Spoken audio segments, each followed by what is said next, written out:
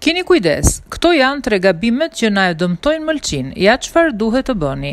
Ushqimet që hani ato të duhura dhe ato të gabuara kanë gjithmonë një ndikim të drejtpërdrejtë në shëndetin e mëlçisë. Ato mund ta bëjnë atë më të fortë ose mund të shkaktojnë dëmtime të parikuperueshme. Rëndësia e mëlçisë në organizëm. Mëlçia është një organ i rëndësishëm që mbron organizmin nga substancat e dëmshme dhe toksinat që ne marrim ose me ose pa dashje, nëpërmjet pijeve dhe ushqimeve.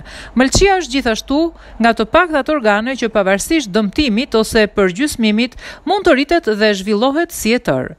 Çdo ilaç që ne konsumojmë rregullisht përpunohet nga mëlçia. Ky organ filtron një pikë katër litra gjak në minutë.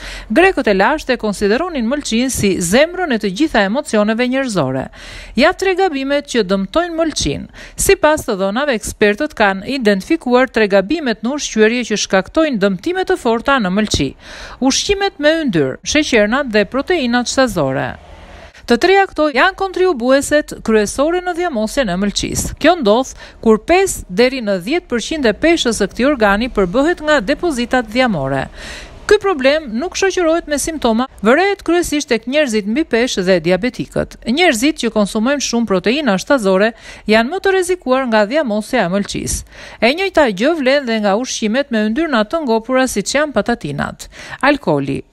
Në një orë, mëlçia përpunon deri në njëzet mililitra alkool, ama nëse ju konsumoni më shumë dhe për një kohë të gjatë, Atëherë mëlçia do të mbushet me depozita dhjamore. Këto depozita do të shkaktojnë dhjamosjen e mëlçisë si pasojë e alkoolit. Kripa. Ekspertët thonë se njeriu nuk duhet të konsumojë më shumë se dy deri në dy pikë katërqind miligramë kripë në ditë. Por në kohët e sotme kripa zë vend edhe në produktet më të paimagjinueshme saqë njeriu pa ose me dijeni konsumon deri në dhjetë presje zero zero miligramë kripë në ditë. Kripa e tepërt mund të shkaktojë akumulim të lëngjeve dhe inflamacion në stomak të cilat e stërmundojnë shumë mëlçinë.